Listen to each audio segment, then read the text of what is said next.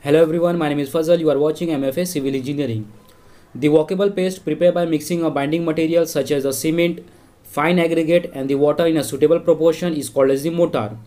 Cement are generally used as the binding material and sand are used as a fine aggregate. The paste which are prepared by mixing a cement, sand and water in a suitable proportion is called as a cement mortar. Note that cement mortar must be used within a half an hour after a mixing.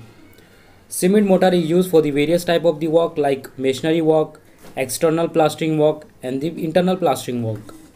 For the masonry work, the proportion of a cement and sand in a mortar should be 1 is to 6 that is a 1 part of a cement and 6 part of a sand and the proportion of a water in a mortar varies from 0.45 to 0.6 times the weight of the cement.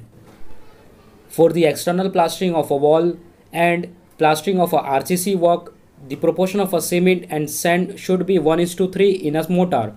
That is a 1 part of a cement and 3 part of a sand.